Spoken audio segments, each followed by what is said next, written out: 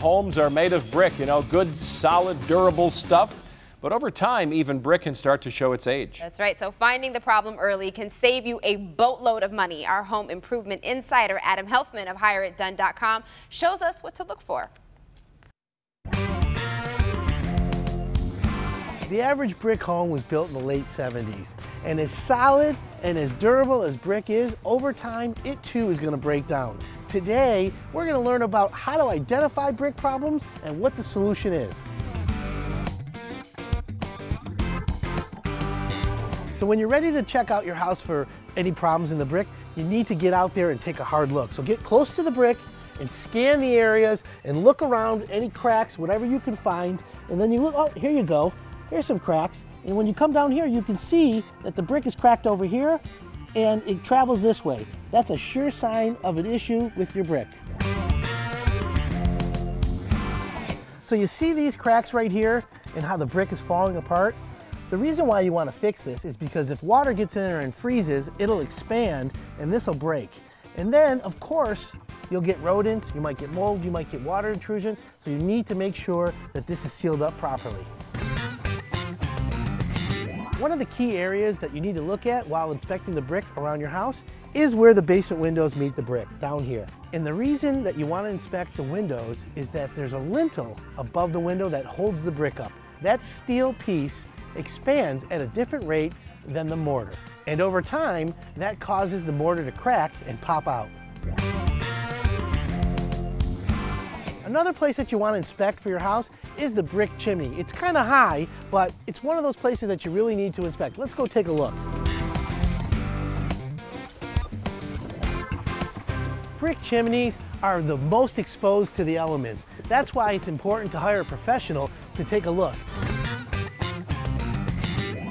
Now that you've figured out that you might have to replace a few bricks, don't get all anxious because a good brick mason is just like a dentist.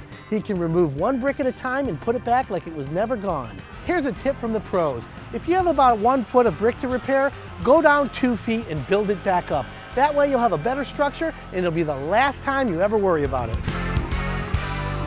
All right, Adam Helfman came down from the ladder. He's here with us from HireItDone.com. So what have you got here? This is great advice because we see stuff happen to the bricks. Right. Okay, well, like we just learned in the segment, a lot of houses have brick. Mm -hmm. The average house is built in the 70s. We have extreme weather in Michigan, so it wears out over time. Mm -hmm. So today we gave you, we brought a couple sample bricks. Okay. This has fresh mortar that we're going to fix, and then we're going to actually tuck point. Oh, the brick okay. here. All right. So again, We're gonna is- what that? We're going to actually put It's tuck pointing. Tuck, Mortar. tuck pointing. the way we men do Tuck frosting. pointing.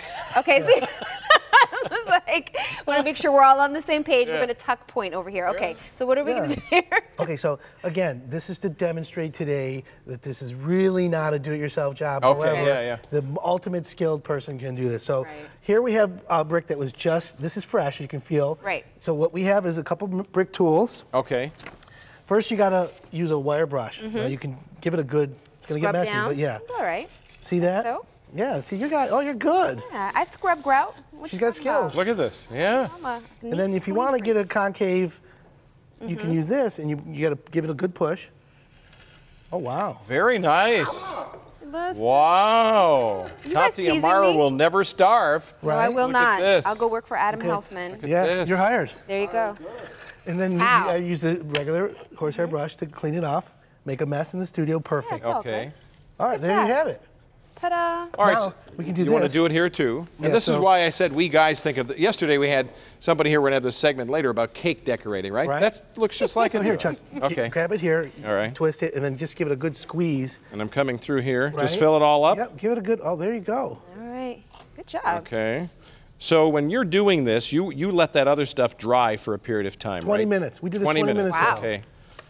And then is the other trick, you got to try to find a mortar that matches if, if this is a repair, but if you got a pro, then they know how to do that. Well, i that's the difference. So mortar over 50 years Right. has, you know, is lightened up or darkened. Right. So when you put brand new mortar, uh, it'll take some time to Gotcha. change the color. Now, Okay. a good professional can tint the mortar yeah. and make it match. Mm-hmm. That's the key. You know, you can try and do it yourself, and you can drive around and see. You can see You can different see colors. it. Right, You right. can see it. But there's an art to this, and you know, hiring the right con- contractor is the right way to go. All right. Leave it to the Need an artiste. artist. To the mm-hmm. artiste. Mm-hmm. Hire It Done will help you find the right contractor to make the repairs you need on your home, and the service is free to you. Just go to hireitdone.com, and when you register, you'll receive key questions to ask every contractor before you hire them. That's a great bonus all by itself.